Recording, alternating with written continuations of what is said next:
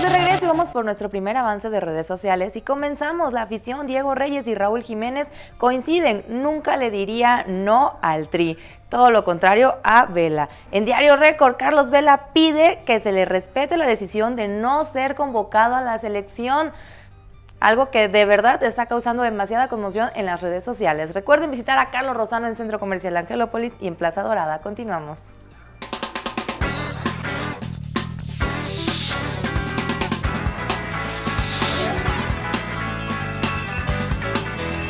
A ver, señor, gracias por continuar con nosotros y gracias No, a Ingrid por, perdón, por continuar. Carlos Vela. Es interesante. Paréntesis, hacemos paréntesis porque el No, un doctor... paréntesis, un paréntesis. Es interesante, digo. Yo no sé qué traiga este muchacho. Pero eh, dice que Chepo le habló por teléfono. A ver, yo le quiero hacer una- un comentario. Si fuera esta la sección, ¿se vale o no se vale? ¿Se vale lo que hace Carlos Vela o no se vale? No, no se vale, pues ¿cómo crees? No se vale. No se vale decirle no es a la un selección. honor estar en una selección nacional. Así debes tomarlo.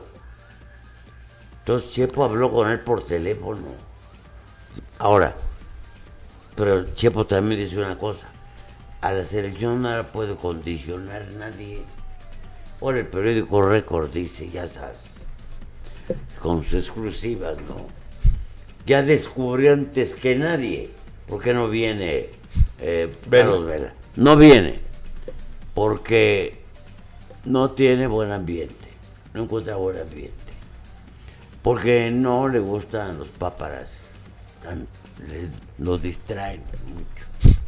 ¿Qué otra cosa? Este, Este. No le gusta lo, la crítica, lo cuestionan la presión, mucho. ¿eh? Lo cuestionan mucho. lo cuestionan mucho. De, de- Delicadezas que. yo, yo no entiendo. Pero ese jugador a mí no me interesa para la selección. Ahora, que se quede. finalmente está en su derecho, ¿no? No, no, No, oye. lo puede obligar nadie a que venga a la Pero selección ¿quién lo va a nacional. Oye, pero además nadie lo está obligando. Ah, no, claro. Eso que por estás diciendo es lo Nadie le está rogando. Chepo no lo... Bueno, Ay, a ver, por señor, favor, a ver, de no, rodillas. señor, señor. Carlitos, Pero ve. es la cuarta ocasión con esta que lo convocan y en tres ocasiones anteriores no ha venido. Pues sí, pero mira O sea, mismo- sí ha habido, perdón Beto, sí ha habido una postura, Ajá. pues permítanme la palabra, hasta cierto punto agachona de me dices que no y te vuelvo a invitar, me dices que no y te vuelvo a invitar.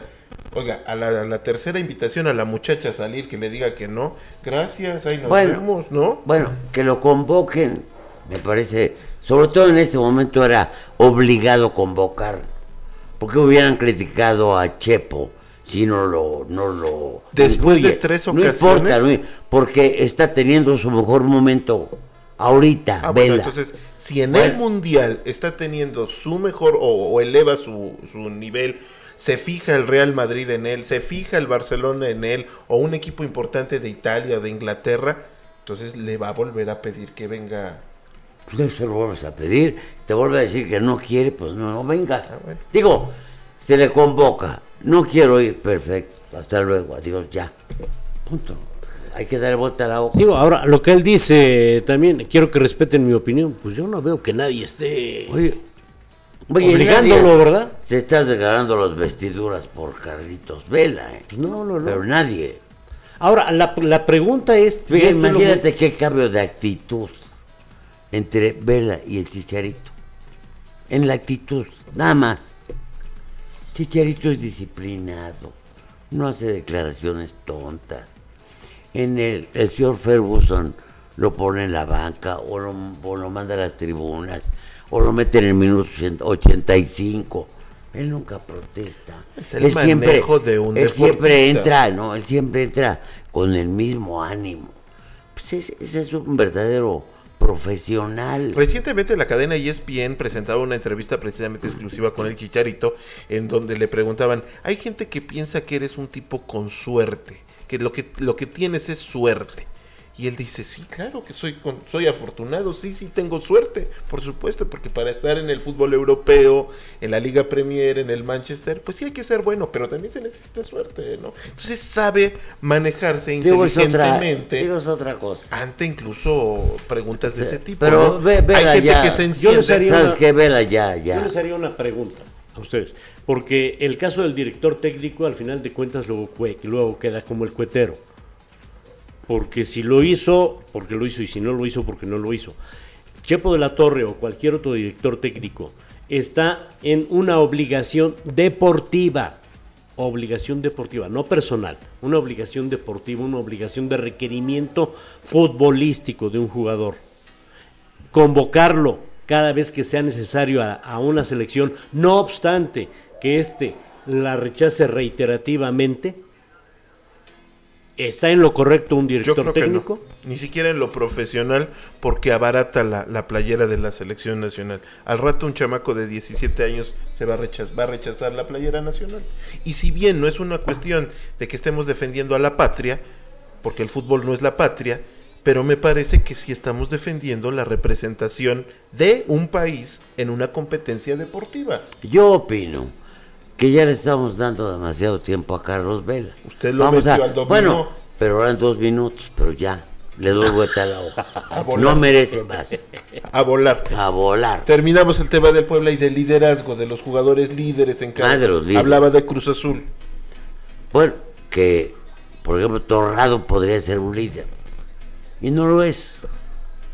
El jugador líder no solamente es buen jugador, es un jugador que, que se impone, que, es- que se siente en la cancha, que es capaz de convocar a sus compañeros.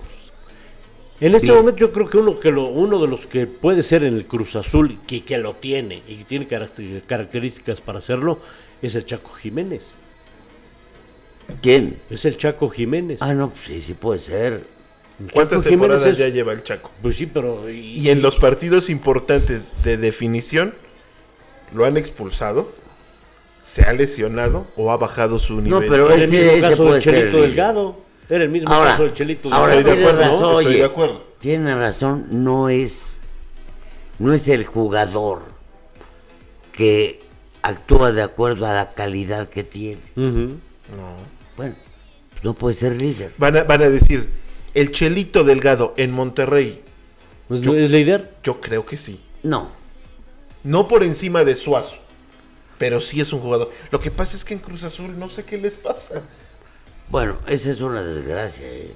Y es una Todos los que realidad. llegan ahí van a decir que el tren, Tito ¿eh? Villa no es goleador. Ahora, y hasta los técnicos les va mal ahí. Pregúntele a Lojitos. Bueno, en fin, hay que buscar en tus equipos líderes. En Eso Puebla, bueno. ¿quién podrá ser? A mí me, me- me- le veo mucha personalidad No, a Castillo. puede ser Borja, puede ser, no, como no, no, no, nada así. No, no, no, no me parece que Borja tenga las Ah, características ¿cómo no? de líder. Ah, pero ¿cómo no? Pues, que siga anotando goles y vas a ver cómo sí. Ah, no, no, una cosa es ser goleador y no, otra cosa no, es ser no, líder. pero velo cómo corre, cómo se faja. ¿Cómo no? Ese puede ser líder. Segundo Alustiza Castillo. puede ser líder.